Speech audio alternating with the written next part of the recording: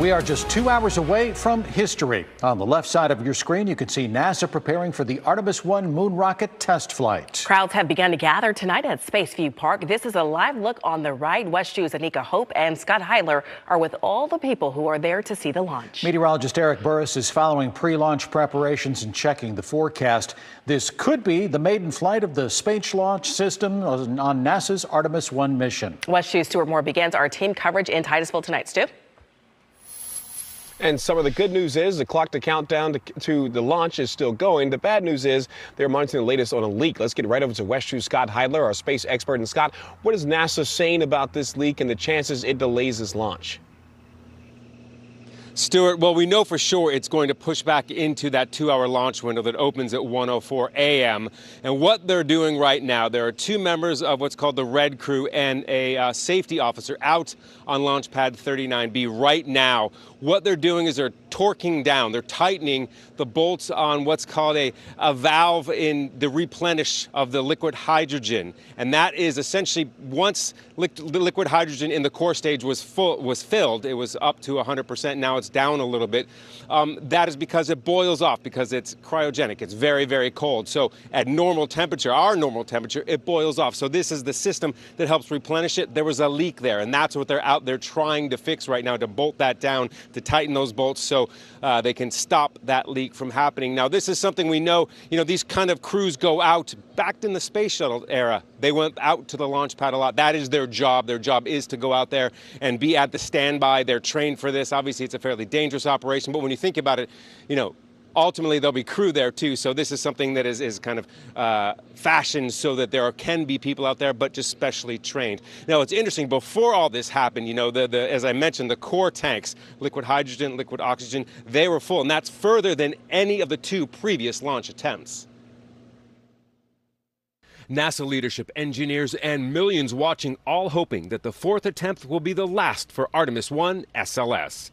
After the two technical issue scrubs, the SLS was rolled back into the VAB to shelter from Hurricane Ian. So now hopes are that just after 1 a.m. or within two hours of the launch window, the night sky of the Cape will briefly glow orange as a 322 foot rocket stack makes its way to the moon on this test mission of the Artemis program. Getting through the two minutes of the solid rocket booster burn is always a big phase of the mission. And uh, you know, from there, usually the the liquid engines can do the job to get it all the way to orbit from there. But getting through that first two minutes has always been kind of a critical element. Even though the mission is shorter than earlier launch windows would have provided, the process of getting into lunar orbit, testing the SLS from launch to splashdown is the key that will ultimately lead to a human base on the moon.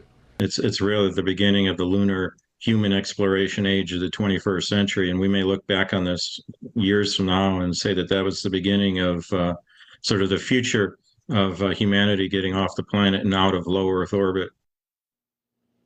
So all that history hopefully will be taking off uh, from Launchpad 39B here in just a couple of hours. But again, they need to work through that issue. Now let's go over to Eric, who can give us a launch forecast. Eric?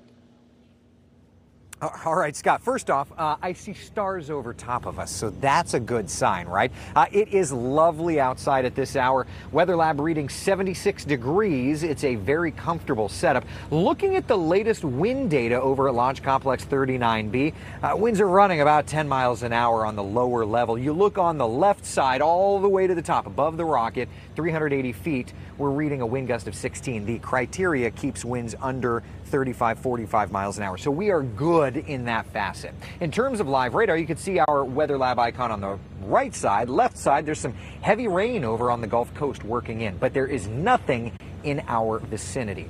We have been concerned somewhat about clouds, but uh, take a look. There's really not much. Now there, I say that, but there's a big ball of clouds out over I-75 coming in. Hopefully that will break apart under stable air as it works our direction, but that's certainly something that we're going to be watching. Latest update from Space Launch Delta 45, the good folks over there at the Cape Canaveral Space Force Station calling for a 90% chance of good weather. Upper level winds are fine. They're launching weather balloons to make sure everything keeps going well. Solar activity is fine. The only concern continues to be that thick cloud rule because if you think about it, depending on how thick the clouds are when the spacecraft takes off or lifts off, if you've got too much cloud cover in that right element of the atmosphere, the friction of the spacecraft accelerating through could actually generate static electricity and lightning, which is certainly not a good thing. But everybody here is on the same page. No go for weather, no go for launch. But for right now, things continue to look good. We're going to continue to monitor this all night long. and We'll have the very latest for you throughout the night. But for now, that's the very latest from the Kennedy Space Center. I'm First Warning Meteorologist Eric Burris, WESH 2 News. All right, Eric, before we let you go, you also got the chance to talk to NASA Administrator Bill Nelson a short while ago about the delays. Tell us a little bit about the caution that they do before any type of launch takes place. Well, he was very clear. And you have to understand, this is not just the NASA administrator. He was an astronaut. He went up on the space shuttle. He was discussing how if every single element isn't perfect, there's no flying. Uh, even discussed in the mission that he flew on the space shuttle, there were four scrubs. It took a month to get them to space.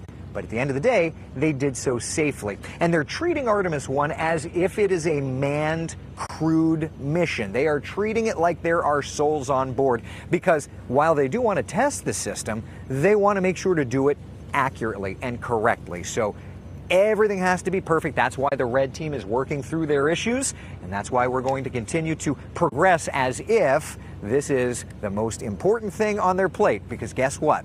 It is, Stu. All right, Eric, thank you. You can hear that interview with Bill Nelson on the WESH 2 Facebook page and our website, wesh.com, right now. Meanwhile, I want to go to Anika Hope, who's over at Spaceview Park, and the crowds have been gathering throughout the evening, Anika, and of course, they are hoping this thing gets off the ground.